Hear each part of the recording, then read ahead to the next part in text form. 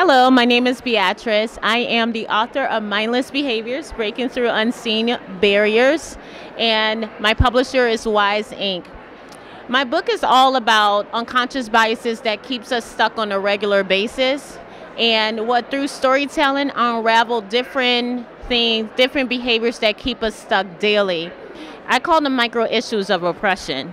So like as we it starts with a seed and it actually grows into something really big.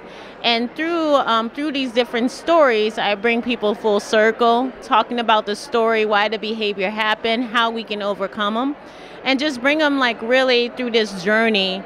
And the whole point is to break the cycle of reactivity and activate the God within us because we have a lot of conditioning that we have been under that we need to uncondition edition. So through that, I basically have written my first book, and it's not only it's not only a book, but it's a social experiential platform that we do do a lot of impact work within the communities to raise awareness about the behaviors. Because the whole point is to evolve your world.